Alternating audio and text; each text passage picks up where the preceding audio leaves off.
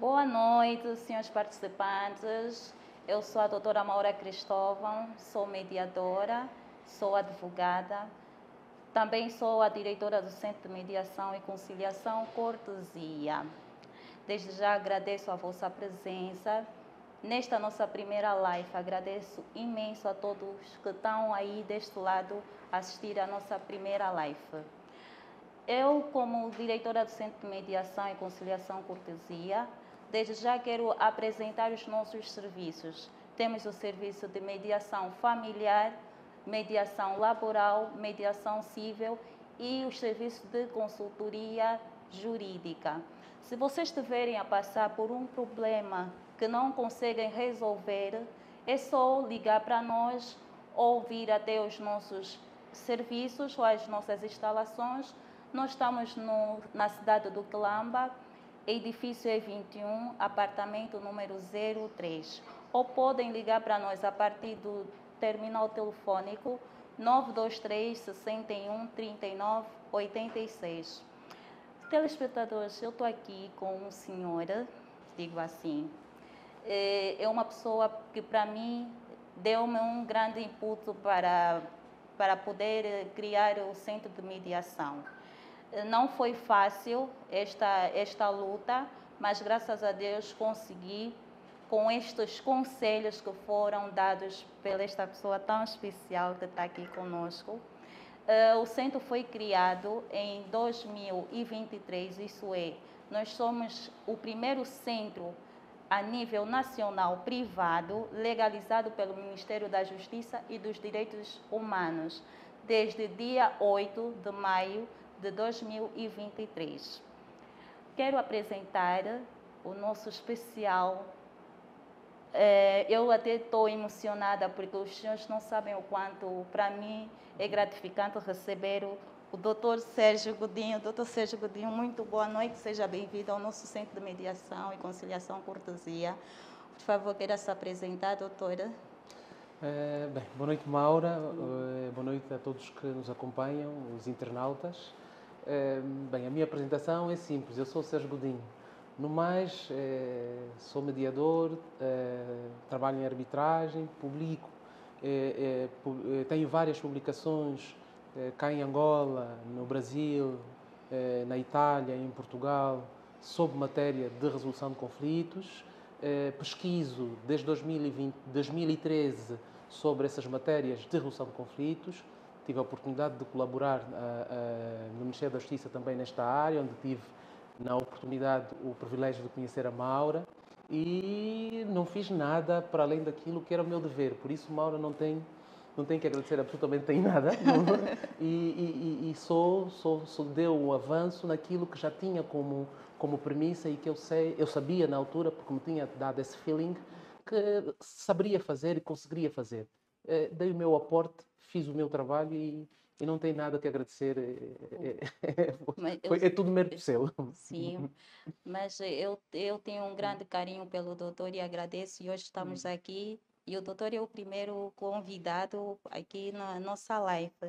Doutor Sérgio, nós temos, eh, nós temos eh, como tema a relevância dos centros de mediação de resolução de conflitos em hum. Angola. Doutor, pode, numa breve eh, introdução uhum.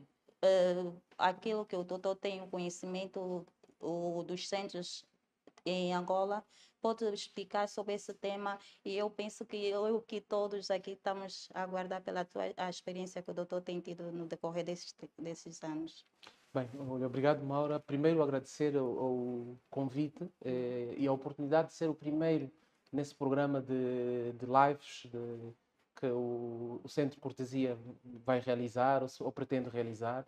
Faço votos que assim continuem, porque a cultura da desjudicialização e a realização da mediação e da conciliação, que são premissas desse centro, só se vão concretizar efetivamente se tivermos todos eh, imbuídos deste, deste interesse, deste, deste desafio e da realização, melhor, deste desafio, que é a desjudicialização, ou seja, uh, evitar sempre que possível uh, remeter processos para os tribunais e tentar, por vias eh, autocompositivas, como é a mediação e a conciliação, e é isso que, de facto, o Centro, o Centro de Cortesia pretende. E, e eu acho que, de facto, o que fazem agora com esta, com esta iniciativa, e espero que continuem firmes e fortes, é, é, é de facto uma, uma mais-valia e é a grande premissa para que é, se cultive essa, esse, esse novo hábito, permita uma expressão, de, de judicialização e de composição auto, de autocomposição dos, dos litígios. Eh, respondendo ao que me colocou e como tema desta, deste encontro, dessa conversa, eh, a importância dos centros de resolução de conflitos, eh, ela, é, ela pode ser avaliada de várias formas. aliás, como premissa inicial, devo dizer que os centros de resolução extrajudicial de litígios ou de conflitos, como quiserem, embora não seja sinónimo eh, podem efetivamente nesses centros colocarem-se litígios ou conflitos, poderemos eventualmente também tocar nesse ponto durante a nossa conversa, eh, dizia eu que a importância se coloca exatamente porque são formas eh, de resolução de problemas, de contendas e de pacificação social e que convergem a nível da sua função com uma das funções do Estado, que é exatamente a realização da justiça e, e a garantia do acesso ao direito eh, e a tutela judicional efetiva. E, e, é nesse capítulo em que os centros de resolução de conflitos se colocam. É, lembrar que um, a, a, o trabalho, a função que têm os centros de resolução de conflitos é, é, é, embora sejam privados na sua, na sua constituição, se quisermos, ou seja, os centros são criados por iniciativa privada, é, são autorizados pelos órgãos competentes do Ministério da Justiça e dos Direitos Humanos, aqui no nosso caso, eh, mas a nível da sua função, elas, elas, eles eh, eh, têm uma função pública e que é jurisdicional, ou seja, eles promovem, realizam o, o direito. E de que forma? Mediante a, exatamente mecanismos próprios e olhando para a, a, critérios e regulamentação específica relativamente às matérias dos procedimentos em mediação, conciliação, arbitragem, dispute borders e outras práticas eh, de resolução extrajudicial.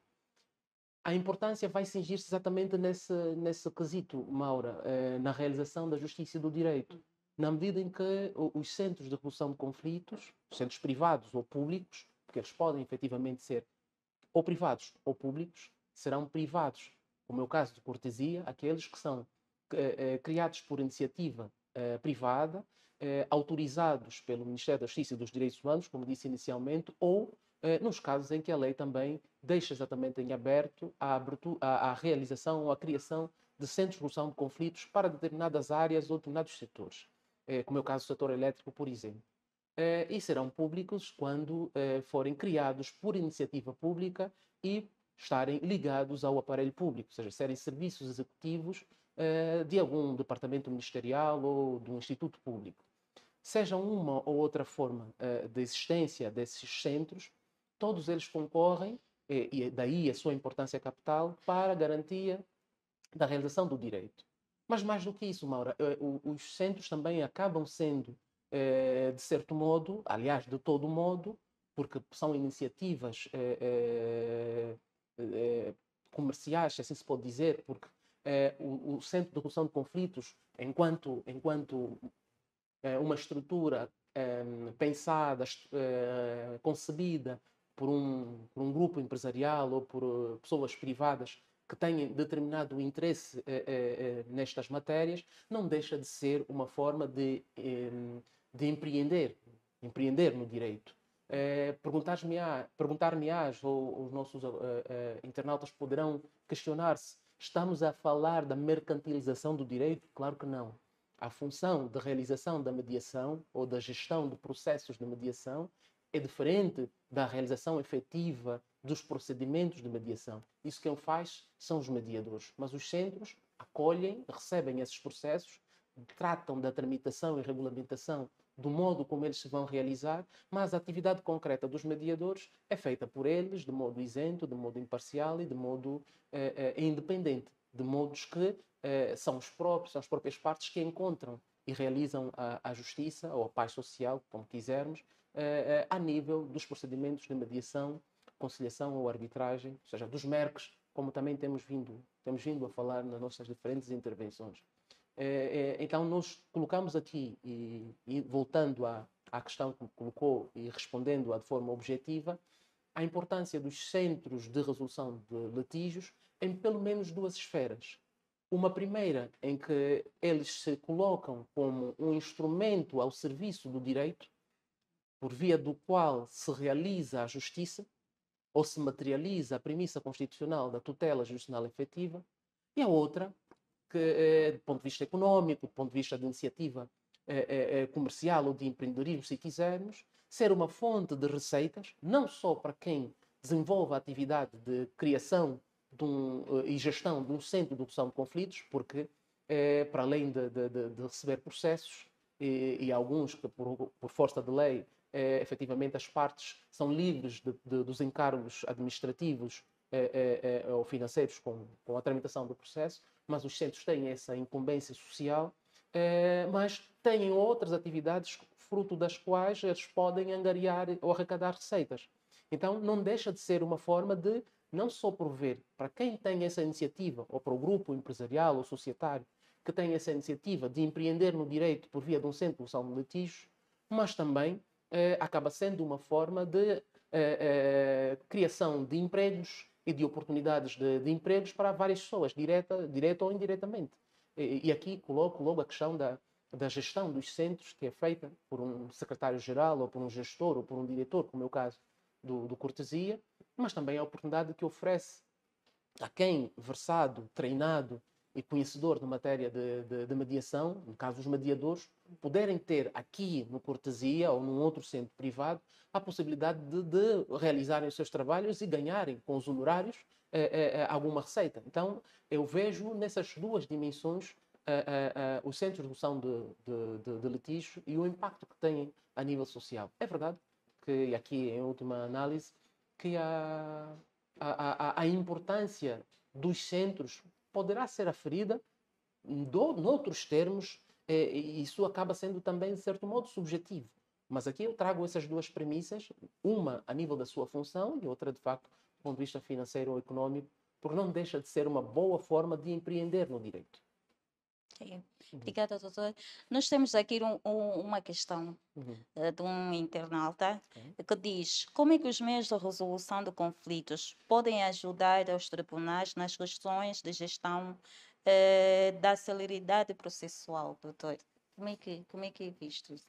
Bem, é, eu tenho dito que os métodos extrajudiciais de resolução de conflitos não têm como premissa principal servirem de coadjutores da atividade judicial. E é importante que se note isto.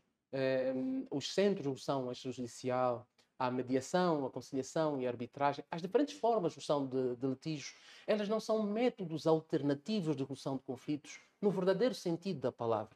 Ou melhor, elas não são métodos alternativos de resolução de conflitos no sentido pejorativo da palavra. Elas são no verdadeiro sentido da palavra. E o que é que nós entendemos como alternativa?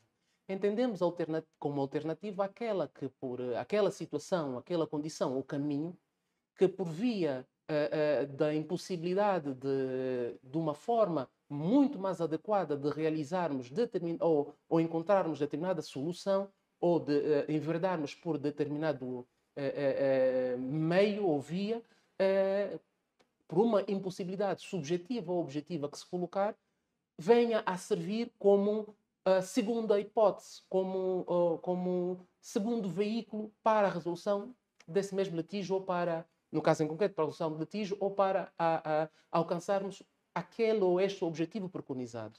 Dito de outro modo, explicando melhor, porque estamos com, com os internautas, nem todos são juristas e às vezes uma linguagem muito complicada pode não permitir uma boa percepção. O que eu quero dizer é que a, a mediação e, consequentemente, os centros de resolução de conflitos eh, eh, eh, não aparecem apenas como uma forma alternativa ou secundária, e essa é a forma, é o modo pejorativo como muitas vezes são vistos, mas aparecem em paridade com todas as formas de resolução de conflitos, dentre elas a via judicial. Ou seja, nós preferimos falar em métodos adequados de resolução de conflitos, colocando-os todos na mesma linha horizontal. Não há um método que se entenda como principal. Poderá haver, sim, por opção legislativa ou por opção eh, eh, por via de acordo das partes, a escolha de um ou de outro método de resolução de conflitos que poderá até não ser a via judicial. Como diz um professor de direito aqui em Angola, os tribunais não têm sempre a primeira palavra, ou melhor, a última palavra. E se ouve, se ouve dizer isso muitas vezes. Os tribunais, os juízes, têm a última palavra. E esse professor pergunta: quem tem a primeira?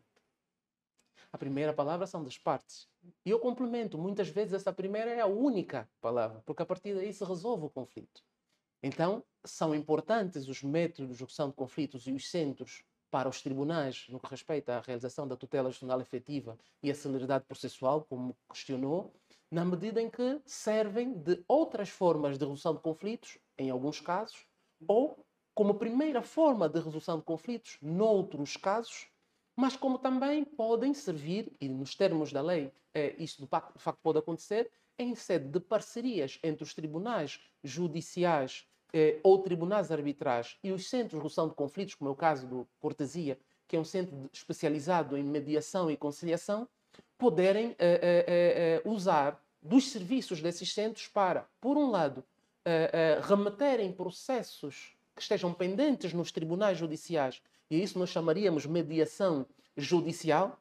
É? Porque seria uma mediação que ocorre já na pendência de um processo judicial ou até numa perspectiva a, a, a, preventiva, preventiva da judicialização, poderem servir como formas de amparar, de evitar que efetivamente muitos processos vão para os tribunais e possam efetivamente ser resolvidos pela via extra, extrajudicial. Então, eu entendo que para, via, para os tribunais, a importância e o impacto que têm os centros de resolução de conflitos é exatamente nesta medida. Primeiro, de poderem servir de apoio aos tribunais nos casos das mediações judiciais, entenda-se, mediações judiciais, aquelas que são realizadas em sede de processos que já estejam pendentes em tribunal. Ou, ainda, eh, de forma anterior e preventiva aos litígios à resolução desses conflitos antes mesmo de eles serem levados à via judicial e, se calhar, eh, impedindo ou evitando que eles sejam levados à via judicial. O que é que concorre, eh, eh, em que é que concorrem essas duas medidas? Uma primeira permite que os tribunais possam desafogar o êxodo de processos que tramitam nas suas diferentes instâncias, na medida em que a possibilidade de resolução judicial de um processo que esteja pendente permite que o, o juiz eh, possa olhar para outros processos, porquanto será remetido ao juiz, e se tudo correr da melhor maneira, em sede de mediação ou de conciliação, um acordo, e por via desse acordo o juiz poderá eh, exarar um despacho eh, em conformidade, seria, no caso concreto, eh, eh uma sentença eh, homologatória que, de facto, poderá colocar fim ao processo, dando tempo ao tribunal e, no caso, ao juiz, de poder olhar para outros processos. Do ponto de vista econômico, igualmente. O tribunal não gastaria mais com aquele processo na medida em que já tem uma sentença homologatória que decorre, de facto, de um acordo que foi celebrado entre as partes. Mas a visão eh, eh, redutiva que muitas vezes nós temos nos faz pensar que o impacto positivo que teria a nível, de, de, de, a nível material, a nível financeiro e de gestão de tempo para os tribunais se cingiria apenas àquele processo em concreto. Na verdade, não é isso, Maura. Uhum. Na medida em que de um processo, e sabemos todos, somos advogados, eu sou, a Maura também, é, sabemos todos que de uma demanda em primeira instância podem daí decorrer outras tantas, seja em matéria de recurso, seja em execução, seja numa instância recursal é, é, especializada, como é o Tribunal Constitucional, ou para o Tribunal Supremo, ou ainda para o Tribunal da Relação. Então, de uma demanda podem decorrer uma série de outros atos que, do ponto de vista financeiro, de facto, poupa para os tribunais se puderem usar da mediação e daí conseguirem uma, uma solução muito mais é, é, completa, permita-me a expressão.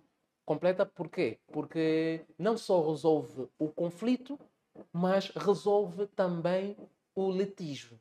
Ou melhor, não só resolve o litígio, não só resolve o processo, mas resolve também o conflito e faz com que, de facto, não existam outras demandas, não existam outros recursos e as partes possam cumprir eh, ou integralmente aquilo que foi a solução que eles encontraram. Então, tem, essa, tem esse grande impacto, pelo que entendo que não podem ser vistos como, como alternativos ou secundários. Doutor Sérgio, como mediador, quais, quais foram os processos que mais participou?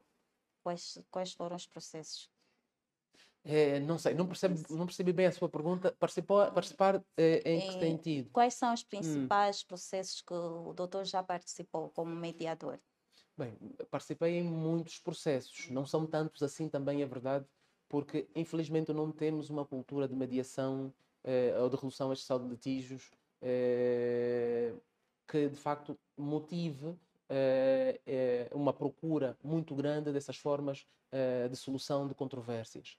Aliás, a verdade é que, embora existam em Angola mais de oito centros legalizados, temos poucos centros a funcionar efetivamente. Não porque os centros não querem funcionar, não queiram funcionar, mas porque de facto não há uma procura ainda, e, e daí uh, inicialmente eu parabenizar essa iniciativa do Cortesia, no fomento da, da mediação, levando de facto a essas discussões, à discussão desses diferentes temas e publicitando uh, os, os, vossos serviços. Uh, eu participei em, fundamentalmente em conflitos, em resolução de conflitos de matéria laboral, faço até agora, uhum. na condição de advogado colaborador, ou seja, a chamada advocacia colaborativa, eh, por um lado. Por outro lado, faço-a também por via da mediação, quando sou convidado por colegas que tenham conflitos nos seus escritórios ou processos nos seus escritórios e eh, eh, remetem para nós ou chamam-nos para, em sede de mediação, poder, poder fazer intervenções.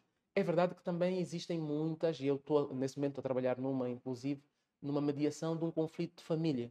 É, essa mediação de conflito de família consiste na, em encontrar é, com as partes é, soluções para um possível divórcio por mútuo acordo e que, pronto, como sabemos, nos termos da lei, há uma série de acordos obrigatórios que versam sobre a guarda dos filhos, alimentos, a partilha de, de, do património eh, comum do, do, dos cônjuges que devem ser resolvidas eh, para que de facto o processo não corra eh, judicialmente sobre a forma litigiosa. Então nós estamos a tratar disto neste momento e os processos que, respondendo diretamente à sua questão, os processos que mais tenho trabalhado são processos de família e são processos laborais.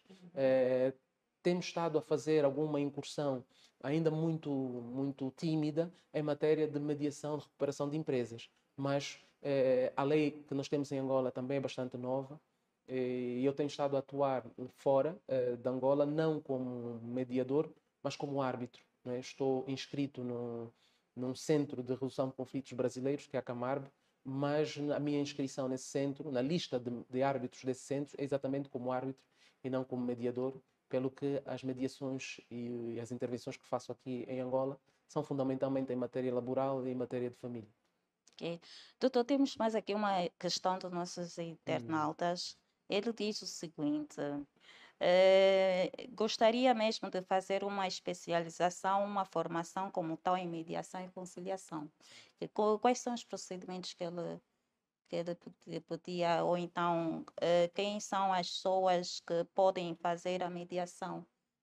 Bem, uh, em princípio, uh, podem ser mediadores ou podem fazer mediação todos aqueles a quem, aos quais as partes confiarem a, a, a, o encargo de conduzirem um procedimento de mediação. Mas como nós falamos aqui no, no início, Maura, a função de, dos centros de resolução de litígio é também jurisdicional, ou seja, eles trabalham na realização do direito. Sendo uma tarefa nobre do Estado, é, é necessário que, de facto, os mediadores tenham formação e tenham é, expertismo suficiente para que possam ajudar as partes a conduzirem o seu conflito e a transformarem esse conflito é, numa coisa positiva. O conflito não é só mau, o conflito pode ser efetivamente positivo. E para este efeito é necessário que efetivamente se tenha alguma experiência, algum conhecimento técnico. Bem, a lei angolana estabelece que, em regra, uh, para ser mediador tem de se ter capacidade uh, civil, inicialmente, de, de, de um, capacidade de agir, no caso, mas também é necessário que se tenha uma formação técnica seja ela administrada pelo Ministério da Justiça e dos Direitos Humanos como pluro governativo que sobre essa matéria versa, ou então por uma instituição de formação que tenha sido reconhecido por esse Ministério. Ou não tendo sido reconhecido por esse Ministério, por uma outra uh, entidade reconhecida por outra, uh, outro órgão administrativo competente para o efeito. Explicando melhor, se pode ser mediador e ter uma formação específica em mediação, participando de um curso de formação de mediadores, ou então de uma pós-graduação em mediação. Se for um curso de formação de mediadores, em princípio, cabe ao Ministério da Justiça e dos Direitos Humanos a missão de por, por meios próprios, caso com, com, com uma formação ministrada pelo próprio Ministério, ou por via de parcerias com outras instituições, dentre elas o ICFML, que poderá ser, aliás, o ICFML é um Instituto de Certificação e Formação de Mediadores Lusófonos e que não só forma, como também certifica mediadores a nível internacional. Então, pode perfeitamente alguém que esteja interessado, caso o nosso internauta, interessado a, a, em fazer mediação, em ser mediador, participar numa formação uh, ministrada pelo ICFML ou por uma outra instituição. Um, ehm, mas aí se colocarão, Maura, duas situações. Uhum. É, uma coisa é media, a capacitação, a formação em mediação. Outra coisa é a realização de mediação um, ehm, por alguém que tenha, de facto, uh, inscrição feita na lista de mediadores angolanos. Aliás, a, a, a, lei de mediação, conflitos e conciliação, que eu tive o privilégio de fazer anotações eh, com a doutora Maria Dias, eh, estabelece exatamente isto, que eh, deve o Ministério da Justiça e dos Direitos Humanos criar eh, um cadastro nacional de mediadores. E a importância do cadastro nacional de mediadores é, é que ela permite que, de facto, as mediações realizadas pelos mediadores que, inscritos nesse cadastro tenham força de título executivo equiparado a título judicial. Qual é a importância disso e qual é o link que se faz com a formação? É que para pertencer ao Cadastro Nacional de Mediadores tem de ter efetivamente uma formação. Não, é? não basta alguém com, um, com conhecimentos é, é, razoáveis, não basta alguém que tenha interesse em realizar mediações, é necessário que tenha efetivamente essa formação e que reúnam os requisitos que este Ministério deve certamente ter eh, eh, determinados, porque assim a lei convoca-o a fazer, por via do regulamento, estabelecer exatamente os termos para, esta, para estes critérios, de, de não só para se cadastrar um mediador no, no, no, Cadastro Nacional de Mediadores ou Lista Nacional de Mediadores, mas também para que possa efetivamente exercer a, a mediação. Última nota, Maura, se me permite, ainda sobre esse tema, é, nós temos uma particularidade enquanto africanos a mediação não é só realizada por pessoas com formação especializada ou equiparada ou adequada, podiam ser os advogados, psicólogos, sociólogos, uhum. para, e com alguma capacitação, poderem fazer efetivamente mediações, estarem habilitados a fazer mediações. É, sabemos todos que resolver conflitos resulta muito da experiência que nós temos enquanto pessoas. E a idade, a maturidade é, e, e as vivências podem permitir que, de facto, podem potenciar que uma pessoa seja de facto é, é, bastante experiente, bastante é, competente para poder ajudar a ultrapassar uma determinada quesilha, seja, seja, seja ela familiar, comercial ou, ou laboral. É só pensarmos na figura dos mais velhos, dos nossos sobas, e, e no caso concreto. E por que, é que eu chamo isso? Porque a nossa lei dá exatamente, abre uma brecha para que, de facto, outras pessoas com outras valências e que não tenham essas formações especializadas ou equiparadas ou adequadas possam também realizar a mediação. Não serão elas, infelizmente, não, não pertencerão ao Cadastro Nacional de Mediadores, na medida em que esse Cadastro Nacional ou para esse Cadastro Nacional uhum. existe a formação adequada. É, mas poderão também fazer mediação. Dito de outro modo, é mediador aquela pessoa que tem, é, que goza da, hum, eh, da confiança das partes para que possa conduzi-las ou facilitar a, a, discussão, entre aspas, aqui, a ideia é que a mediação ou o procedimento de mediação seja uma conversa cordial, seja um encontro cordial de pacificação. Então, o termo discussão, se calhar, não é o mais não é o mais adequado, mas que de facto essa pessoa com essa capacidade, com essa sagacidade, com esta com este com este expertismo possa efetivamente, ou essa experiência possa levar à, resolução deste conflito, independentemente de ter ou não ter uma formação especializada, mas fica aqui a nota, não é? Nós estamos num mundo de concorrência E Sim. se nós queremos, de facto, estar lá na pole position, se nós queremos estar numa posição de vantagem, é importante que nos capacitemos, como fez a Maura. É? é? importante que nós tenhamos, de facto, uma formação especializada que nos permita, de facto, ter um olhar 360 sobre os conflitos e poder ajudar as pessoas a resolvê-los. Então, eh, eh, de forma viva, ah, recomendo, de facto, que se façam eh, formações em matéria de mediação. Não é determinante, mas é muito importante. Uhum. Doutor Sérgio, no nosso país já se sente a frequência do exercício dos, do, da mediação e conciliação? Olha, Maura, essa pergunta é muito, muito pertinente. É, é, no meu ponto de vista, sim, é, se sente. É, mas a, se calhar eu mudava a sua pergunta parafraseando ou alterando mesmo a, a, a sua pergunta para questionar da seguinte forma: o que se sente é suficiente Pronto, a minha resposta seria não. É, nós tivemos um marco muito importante, dois marcos muito importantes é, para a mediação angolana. Um primeiro foi em 2016, com a aprovação da Lei de Mediação de Conflitos e Conciliação. É, veio trazer aqui o regime geral sobre a mediação e conciliação de conflitos. Mas tivemos também, e se calhar não nesta ordem, né? esse seria o segundo marco, porque o primeiro marco foi em 2015, com a aprovação da Lei 7/15 a Lei 7/15 fez com que efetivamente tivéssemos um êxodo na realização das mediações, na medida em que o, a Inspeção Geral de Trabalho passou a ter competências de também realizar procedimentos de mediação. A nível laboral, é verdade. Mas isso fez com que, de facto, chamasse a atenção às pessoas para a, a, a, busca dessas ferramentas, a busca desse mecanismo de, de resolução de, de litígios e, e, e, procurar saber e conhecer efetivamente o que é a mediação.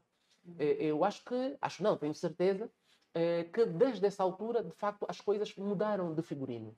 Eh, pesa embora, Maura, também diga-se a bom da verdade, que com a criação do Centro Público de Resolução de Conflitos, o único centro público de resolução de conflitos que temos, que é o CREL, também fomentou e muito a, a busca por essa via de resolução de conflitos. Uhum. Na medida em que passou a ser uma materialização da intenção do Estado, manifestada já há anos atrás quer com a realização uh, uh, uh, de, um, de, uma da, com, a, com, a, resolução do Conselho de Ministros que promove a, a, realização dos conflitos pela via, que incentiva, melhor dito, a realização dos conflitos, a resolução dos conflitos pela via extrajudicial, mas também pelo Decreto 4/6 que, que versa sobre a criação dos centros de resolução de conflitos. Penso que esses são marcos importantes que fizeram que efetivamente tivéssemos um, um, um uso eh, e um conhecimento maior dessas formas de resolução, de resolução de litígio. Mas não, não estamos ainda diante de um quadro que possamos dizer que seja animador, é, ou que seja ótimo. É, estamos a fazer o caminho, eu pelo menos tenho essa percepção. O próprio ICFML já olha para Angola com, com, uma, com, com um olhar diferente. Temos um núcleo do ICFML, lembrando que o ICFML é o Instituto de Certificação de Mediador Lusófonos, aberto para colaborar com as instituições, quer privadas, quer públicas, eh, e eu que vos falo, sou, pertenço à equipa do ICFML do Núcleo Angola, e, e, e, está de facto aberto para isso, não só para formações, mas também para a, a, a fomentar com, com outras eh, eh, iniciativas o uso da mediação em Angola. Doutor Sérgio, temos aqui mais uma questão dos nossos internautas. Uhum. Ele uh, disse o seguinte: num curto tempo, pode fazer uh, uma breve introdutória sobre os, ob os objetivos da mediação e conciliação? Os objetivos da mediação e conciliação. Bem, de forma muito resumida, é, os objetivos da mediação e da conciliação acabam se confundindo, mas não são a mesma coisa, são uhum. duas vias eh, ou métodos distintos de resolução de litígios, eh, os objetivos dessas duas formas são de conflitos, eh, ou de litígios, melhor, disse, melhor, de, de, melhor dito, eh, cingem-se exatamente no facto de elas serem mecanismos autocompositivos, ou seja, instrumentos que estão ao dispor dos interessados, das partes, para elas próprias, enquanto interessadas na resolução de um conflito, seja, a utilização da mediação e da conciliação como vias autocompositivas uhum. dependem da vontade das partes e o interesse sério das partes em resolver esse mesmo conflito que os apoquenta. É, é, é, e a pergunta que colocou, desculpa, era, era sobre o, os objetivos. Os objetivos, exatamente. O objetivo da mediação e da conciliação não pode ser outro, senão é, ajudar ou colaborar com as partes, e digo bem, colaborar com as partes, porque não é um mecanismo ou um instrumento impositivo de resolução de conflitos. As partes intervêm em todos os momentos. Primeiro, no momento da escolha do mecanismo que pretendem para a resolução do seu conflito.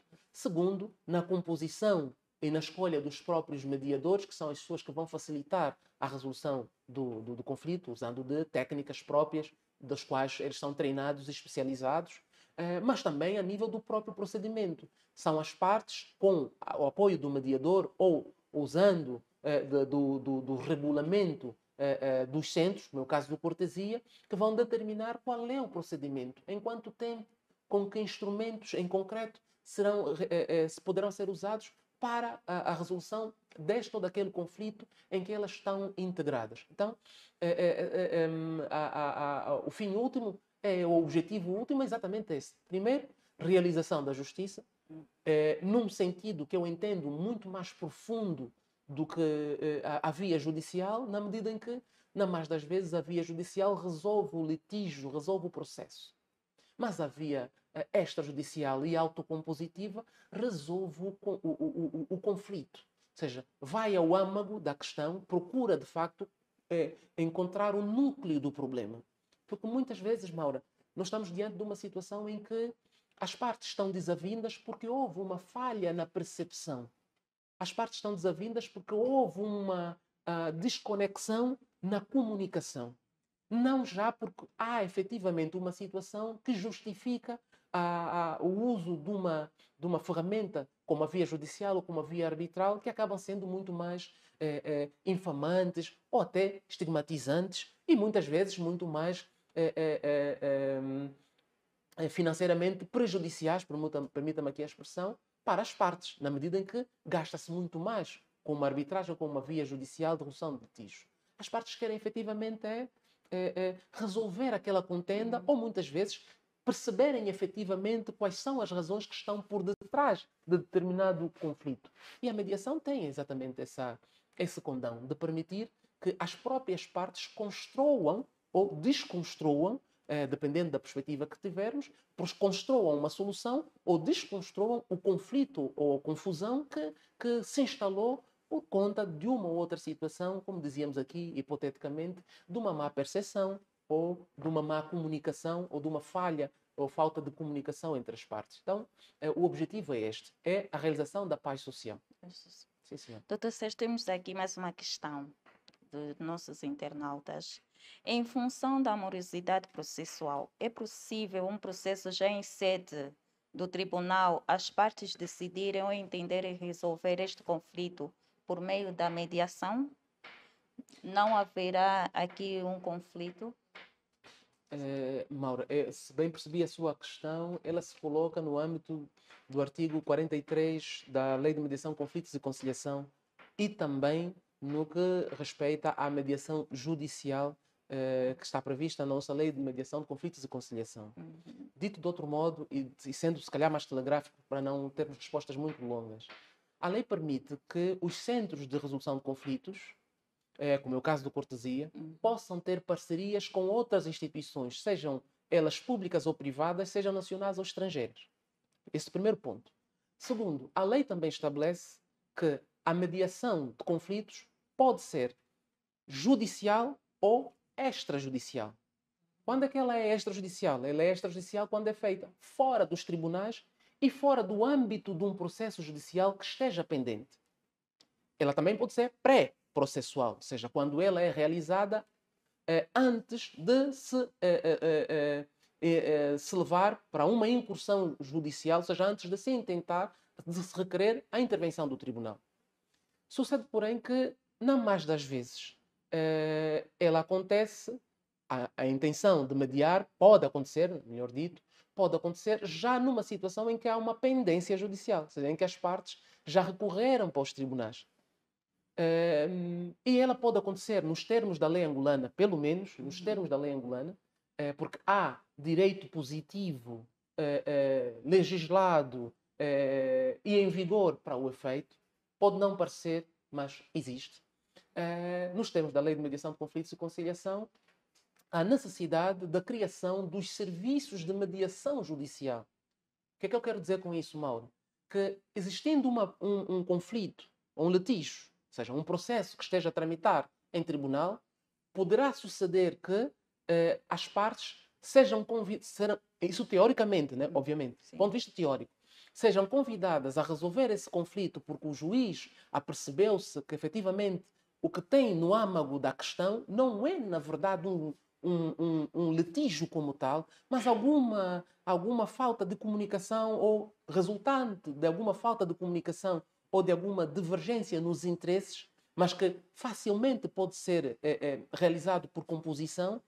Deixa-me aqui trazer o exemplo, por exemplo, é, Maura, de uma, de uma sociedade comercial familiar, ou seja, em que os sócios são irmãos e que o conflito seja despoletado pelo facto, por exemplo, do irmão mais novo faltar com respeito ao irmão mais velho. Ou de existir à cabeça dessa sociedade comercial o pai, que é o sócio-gerente ou o, o, principal sócio da sociedade, e que a dada altura entende, por exemplo, afastar-se da sociedade porque quer tratar de, outras, de outros negócios ou não tratar de negócio nenhum. E isso desfazer, despoletar uma é, societária relativamente à cessão de cotas ou à gestão da sociedade.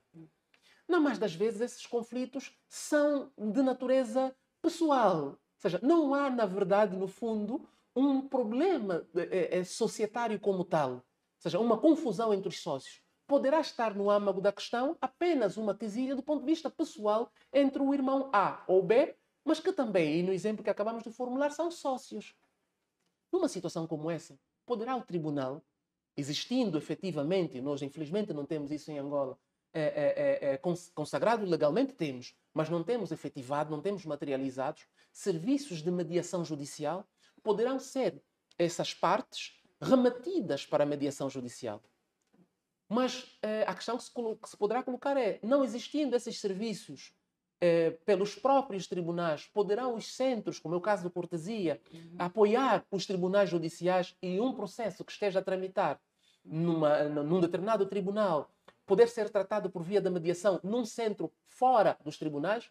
Sim, é aí que nós falávamos do artigo 43 da Lei de Mediação de Conflitos e Conciliação, que permite, de facto, essas parcerias entre instituições como são os centros de resolução de, de litígios e outras instituições públicas ou privadas.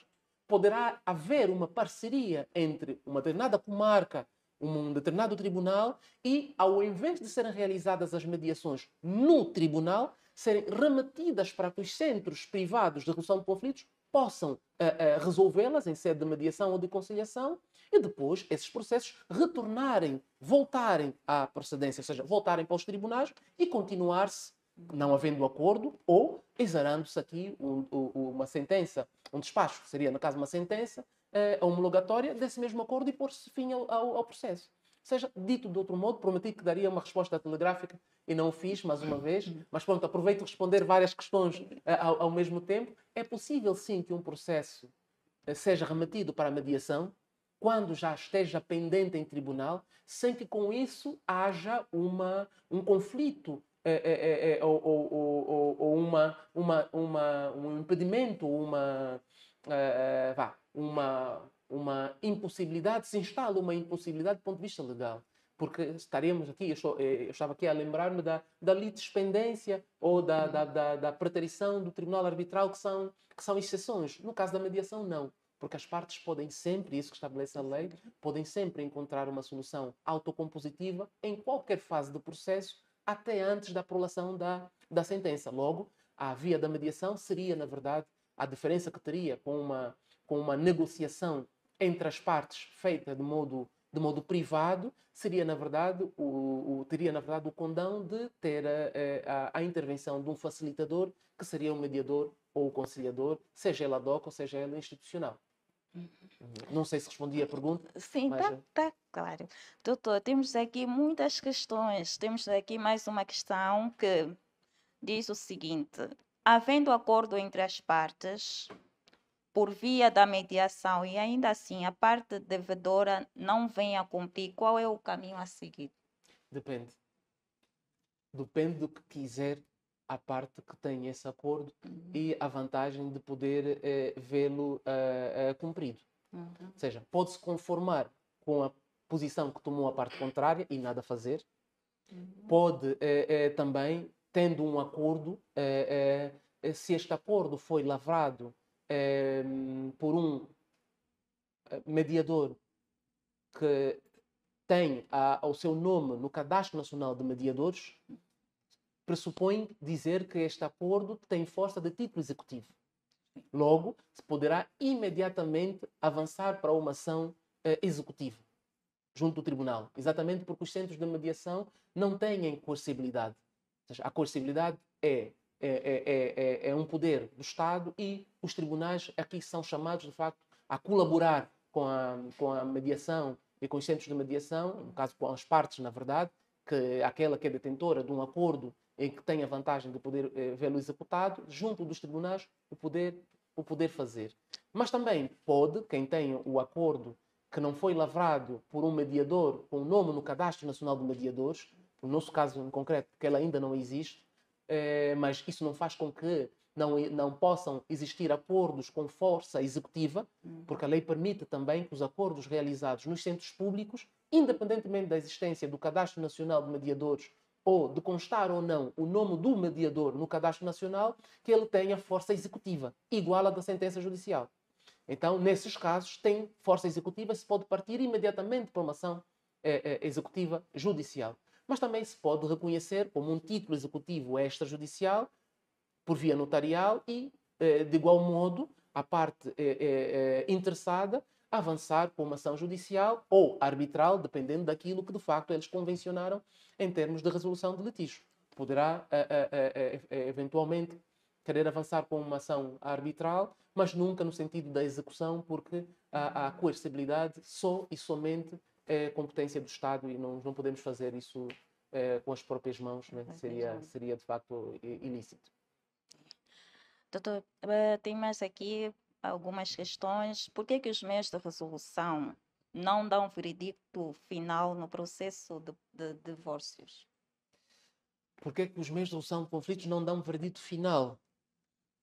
É, eu não concordo com essa afirmação nos processos de divórcio. Sim, não é concordo. uma questão daqui dos nossos internautas, ele colocou essa questão. Uhum, não concordo. É, é, se calhar é, há, faltou alguma coisa na questão para podermos perceber melhor, mas eu não concordo que, o, que não se possa resolver um conflito de divórcio, no caso um conflito de família, é, pela via extrajudicial. A lei estabelece exatamente que a mediação pode ser também em, em conflitos familiares. Aliás, deixa aqui fazer uma nota, eh, eh, se calhar de achega à questão que tinha-me colocado sobre os processos em que mais eh, teve, teve a minha intervenção como mediador, é que os processos que mais existem, que mais abundam, são aquelas que são chamadas eh, são chamados conflitos de massa, uhum.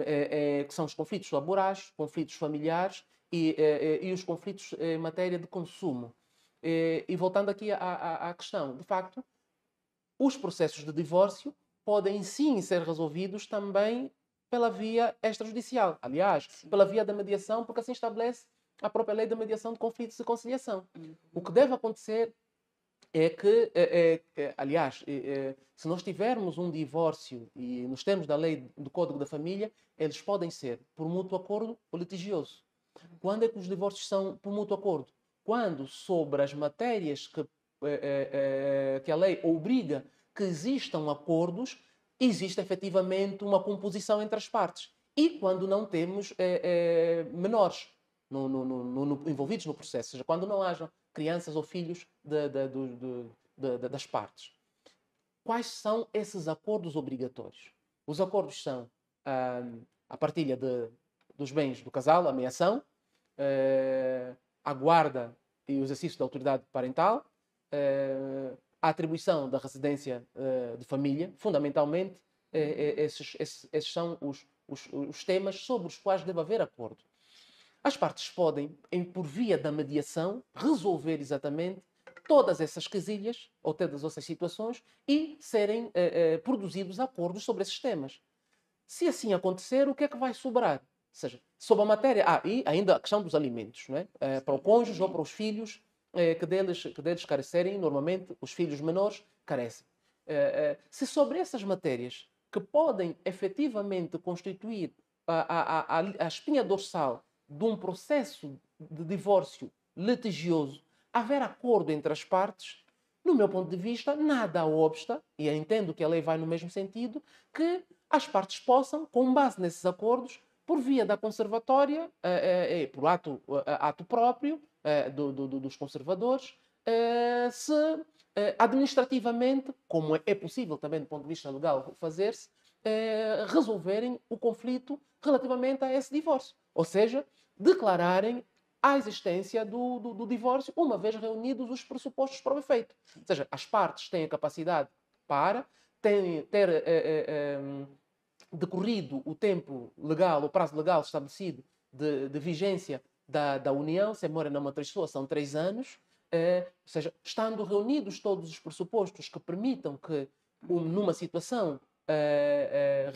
regular, numa situação, permita-me a expressão, não é melhor, normal, possa ser por via, notari, por via da, da conservatória eh, resolvido, extinto, a, extinta aquela relação de casamento, não é? Eh, ou aquele casamento, entendo eu que, uma vez eh, eh, existindo os acordos obrigatórios, também se poderá, no mesmo sentido, promover. Então, e aí não será a mediação, obviamente, se calhar nesse sentido devo concordar com, com, com o internauta e a questão que colocou, não será a mediação a decretar o divórcio, porque não é a mediação que faz o casamento. Ou seja, o divórcio é decretado judicialmente pelo tribunal Sim. e depois ordenada a, a, a, o registro trans, desse mesmo, desse mesmo, dessa, mesma, dessa nova condição do estado das pessoas, no caso, estado de divorciados, na conservatória do, do, do, do registro civil, como também ela pode acontecer diretamente por via da conservatória do registro, do registro civil, desde que estejam reunidos os pressupostos. E os pressupostos passam exatamente pela necessidade de existirem os acordos obrigatórios eh, eh, ou não existirem conflitos sobre aquelas matérias que a lei entende serem, de facto, eh, eh, eh, eh serem, deverem estar sanadas, deverem estar resolvidas, que são esses que nós aqui acabamos de, de apresentar. Nesses termos, poderá sim a, a, no meu entender, à conservatória, às partes remeterem à conservatória todo o expediente com os acordos obrigatórios realizados para que possa ser decretado o, o, o, o divórcio. Então, é, é, é, essa é a minha opinião. Eh, doutor Sérgio, neste tempo que já abordamos sobre os meios de resolução extrajudicial de litígios, qual é o seu olhar sobre o desenvolvimento em Angola? Bem, eh, Maura, o meu olhar hum, ele difere eh, do sentido ou do ponto em que eu estiver de facto a analisar. Se estivermos a fazer uma análise do ponto de vista legislativo, eu estou muito satisfeito com o avanço que nós tivemos relativamente à resolução extrajudicial de litígios. Sim. Fizemos um avanço muito grande, viemos do, do, do tempo colonial, porque a, a, a resolução extrajudicial, aliás, antes mesmo da, do tempo colonial, é, nós, enquanto africanos, e a cultura da resolução dos conflitos pelas comunidades, pelos líderes das comunidades, sejam eles sobas, reis, sobetas, eh, nos onjangos, com as sentadas familiares e com os nossos mais velhos, nós já temos, de facto, enraizada em nós essa cultura da resolução extrajudicial. Mas eu percebo a questão que me está a colocar. Eh, me fala da, da resolução extrajudicial no conceito clássico que hoje, nós, que hoje ela apresenta-se. Mediação, conciliação arbitragem, do modo como elas vêm estabelecidas na, na, na, na lei, como vêm estruturados nos regulamentos dos diferentes centros. Hoje eu entendo que, olhando para a, para a parte que se prende com a, com a sustentação legislativa, que de facto estamos bem. Estamos bem em dois prismas. Quer no ponto de vista interno, com a produção de abundante legislação a esse respeito, quer no ponto de vista internacional, com a, com a ratificação de várias convenções internacionais em matéria de resolução de litígios, mormente eh, em matéria de arbitragem.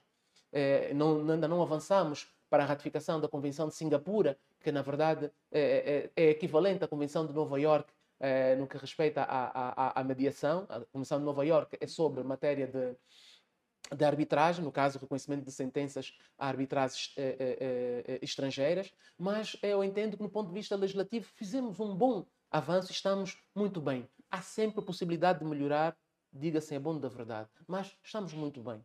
Não, não estamos muito bem em matéria de implementação. podemos fazer um esforço maior e, de facto, tentar fazer o um melhor caminho.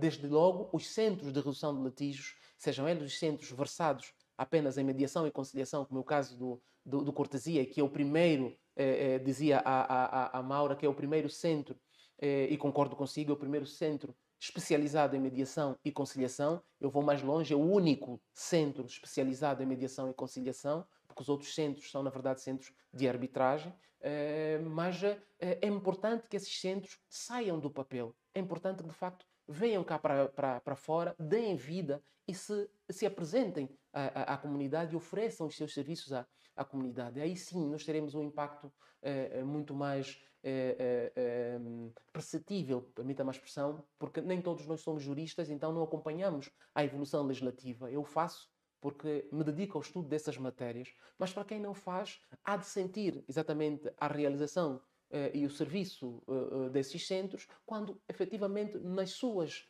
nas suas vidas haver impacto. Ou seja, uh, ter um processo no tribunal e poder dizer não vou para o tribunal A ou B, vou para o centro cortesia e lá eu vou resolver o meu litígio de uma forma muito mais rápida, gastando menos tempo, tendo mediadores certificados e qualificados para o efeito uhum. e mais saindo de lá em paz com a pessoa contra quem ou com quem eu tinha um determinado conflito ou litígio. Aí sim nós vamos poder sentir esse impacto de forma mais, mais, mais real. E nesse capítulo, infelizmente, ainda temos muito trabalho para fazer. Num outro prisma, seria um terceiro, é no que respeita às formações. Temos muito poucas formações, quase nenhuma. Uh, o ICFML apresenta-se como, como um parceiro que quer, de facto, ajudar a alavancar neste sentido, a, a, a, cultura da mediação e a realização da, da mediação eh, e conciliação em Angola, eh, mas é necessário também que, de facto, haja essa promoção, não só por institutos como o ICFML, mas também pelas universidades, porque podemos ter formações pós-graduadas, mestradas e, e, e, de outros níveis, a nível académico, em matéria de resolução social de conflitos. E isso também está em falta. E eu penso que podemos fazer eh, e devemos fazer devemos esse caminho. Fazer este caminho. Sim, sim. Uh, visto ser o coordenador do Polo África do Instituto de Certificação. Polo Angola. Ah, Polo não, Polo, o núcleo o Angola. Núcleo, núcleo Angola. Polo África é, é, presidida pelo, é presidido pelo professor Nuno Albuquerque. Uhum. É, aliás, o ICFML tem uma estrutura internacional que é composta por, por vários polos. Tem um polo uhum. internacional é, em que temos à, à, cabeça a professora a Kátia Cebola, que é, é a nossa presidente do, do ICFML, mas que é, temos a nossa grande mentora e a idealizadora de todo esse projeto, que é a professora Ana Maia Gonçalves, que é a nossa presidente fundadora. E temos os polos em Portugal, temos o polo do Brasil, e temos o Polo África, que contempla todos os países lusófonos africanos, e esse sim é presidido pelo professor Nuno Albuquerque. Doutor Sérgio, uhum. como é que a interação de Angola com os outros países? Eh, neste capítulo em concreto? Uhum.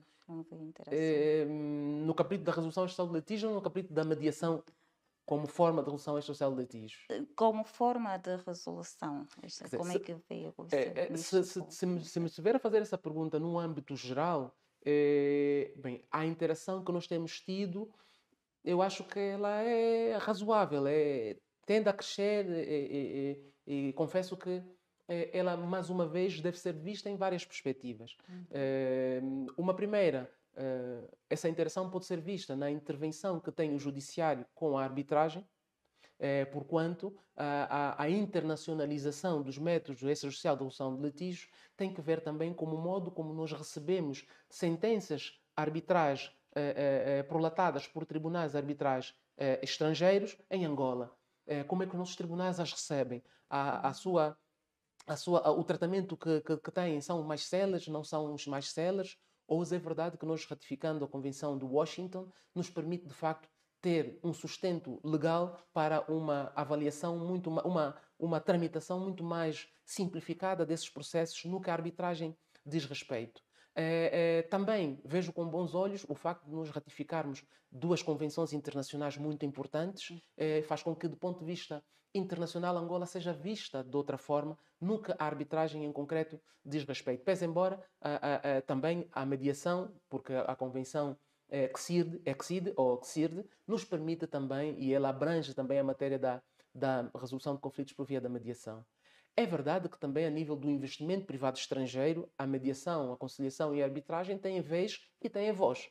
E nisso entendo também ser importante na medida em que uh, uh, uh, nos indicadores internacionais de bom ambiente de, de negócio, no, um, a mediação, a forma como são resolvidos os conflitos num determinado país têm, têm, têm de facto força. E, e nós constatamos que o ano passado, o ano antepassado, falha-me a memória, eh, nós tivemos uma subida nesse, nesse indicador geral. E, e, essa subida não foi, não foi por acaso. Ou seja, houve também, de facto, análise eh, desse, desse pormenor, do modo como são resolvidos os litígios em Angola e os passos que Angola deu nesse sentido, concretamente com dois objetivos eh, eh, alcançados, que foram a ratificação dessas duas convenções internacionais.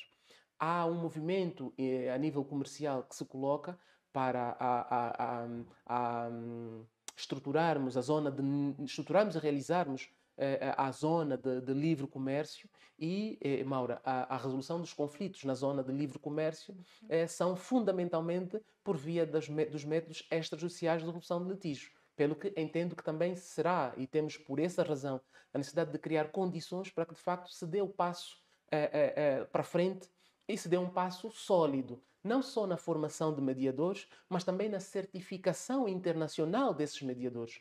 Porque quando um sul-africano, quando um namibiano tiver um problema e, que, e pretender resolvê-lo por via da mediação, antes de escolher o mediador, vai querer saber que expertismos têm esses mediadores e se eles têm uma formação que de facto permite que eles possam ombrear com mediadores de outras nacionalidades.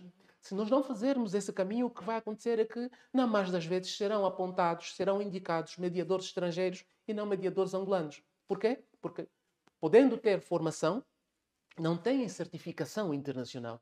E a certificação internacional é importante. E nesse capítulo, eh, eh, eh acho que nós eh, podemos fazer eh, eh, parcerias com instituições estrangeiras, como é o caso do ICFML e outras que possam existir, e de facto darmos esse, esse salto qualitativo na, no que a, a, a resolução social diz respeito e aqui no, no campo internacional em concreto. Doutor Sérgio, qual é a relação que tem com os outros mediadores? Eh, digamos, com a experiência que tem escolhido eh, com os outros países como Portugal e Brasil? Bem, a relação que eu tenho com outros mediadores é boa. Uhum. E a relação que eu tenho, digo é abono da verdade, só tenho essa relação com os outros mediadores porque felizmente pertenço ou integro um grupo eh, do ICFML que de facto faz por isso seja, o ISFML tem uma estrutura que, para além de, ser, de formar mediadores e certificar mediadores, ela cria um, um grupo de conexão internacional entre os mediadores e que nos permite muita coisa, dentre elas trocar experiências entre os mediadores. Todas as semanas nós temos um evento eh, realizado normalmente às terças-feiras que são eh, eh as partilhas. As partilhas são realizadas entre os mediadores dos vários países lusófonos eh, e que nós discutimos diferentes temas previamente eh, eh, definidos para que, de facto, cada um possa contar e conhecer da experiência dos outros mediadores e daí aprender uns com, uns com os outros. Então, tenho a felicidade de ter essa interação com os outros colegas, uhum. nomeadamente de Portugal, do Brasil, de Moçambique, mas queria eu que de facto isso se estendesse para os outros colegas angolanos também. E, e, por essa razão nós vamos trazer, é uma novidade, nós vamos trazer para Angola também esses encontros. Em princípio serão encontros mensais, mas vamos passar a fazer encontros com a comunidade de mediadores angolanos, ainda pequena, mas que queremos de facto que ela seja maior para haver essa interação entre, entre os profissionais da mediação e da conciliação. Doutor, um conselho para quem nos assista? Hum, bem, Primeiro, não tenham problemas, não façam, não criem problemas, não evitem ao máximo problemas, seja conflitos, uh, uh, seja qual for o adjetivo que quisermos dar. Mas se os tiverem, porque infelizmente uh, decorre da natureza humana, nós somos falhos, primeiro. Segundo, os bens e, as necessidades são sempre, os bens são sempre insuficientes para satisfazer as necessidades que nós temos uh, e, e, é uma natureza humana nem sermos insatisfeitos, mas uh, o meu conselho vivo vai no sentido de sempre que tiverem e, e, e por razões inerentes à dinâmica da vida, algum conflito, tentem antes procurar resolvê-lo por vocês mesmos, pelas partes, pela negociação, pela conversa. E se por alguma razão não for possível fazê-lo por esta via, sim, procurarem um, um centro de resolução extrajudicial de litígios para que possam permitir que vocês mesmos, enquanto partes num determinado conflito, possam construir a, a, a melhor solução. Porque ninguém melhor do que vocês, que sejam partes no conflito, para construir a solução. O juiz não conhece do conflito melhor do que vocês, o mediador não conhece do conflito melhor do que vocês. Então, eh, se possível, construam vocês mesmos a solução para esse conflito que, que tenham. Havendo a necessidade de, de, precisar de algum apoio, de alguma assistência técnica de um mediador, procurem, de facto, os serviços de mediação, seja para uma consulta jurídica, porque a lei permite que os centros de mediação e os seus mediadores ou os seus profissionais possam fazer consultas jurídicas, seja para uma mediação ou para uma conciliação, conforme, conforme os casos. Então, o meu conselho vivo vai nesse sentido. Precisamos de promover eh, eh, a paz e a promoção da paz passa também pela realização autocompositiva dos litígios. Okay. Acabamos de ter mais uma conversa sobre a relevância dos centros de mediação de conflitos em Angola e, tom, e ao torno da mediação e conciliação, aprendemos bastante com o doutor Sérgio Godinho. Uh, assim ficou aqui patente a grande importância dos meios de resolução de litígios, uh, bem como as formas uh, que eles são usados na resolução de conflitos. Doutor Sérgio, eu só devo agradecer a sua presença aqui no nosso centro. As experiências são boas, o doutor sempre foi o nosso conselheiro, digo assim. E desde já agradecer, doutora, pelo, pelos bens que o doutor tem feito, nos guiar pelo melhor caminho, doutora. E agradecemos a todos os participantes e esperamos que, que, que o que foi aqui dito, né? ou que foi abordado, uh, seja útil para vocês, uh, para o vosso dia a dia, como, como entenderam da, da matéria. E sintam-se sempre convidados para estar conosco, não esquecendo que nós estamos aqui na centralidade do Quilamba, no edifício E21, apartamento 03. Ou pode seguir as nossas páginas no Facebook e no Instagram. Estamos juntos. Obrigada.